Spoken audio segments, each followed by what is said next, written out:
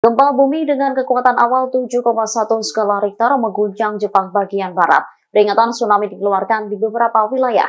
Gempa bumi yang melanda Jepang Barat ini terjadi hari ini, Kamis 8 Agustus 2024. Kabar ini dilaporkan oleh Badan Meteorologi Jepang atau GMA.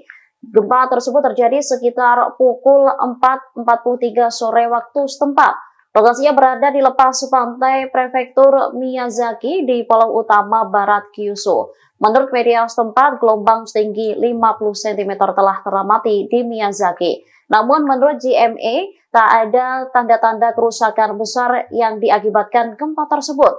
Selain itu, tak ada laporan mengenai kelainan pada pembangkit listrik tenaga nuklir setelah gempa bumi. Kepala Sekretaris Kabinet Yoshimasa Hayashi mengungkap perkembangan terbaru selesai bencana alam melanda wilayahnya.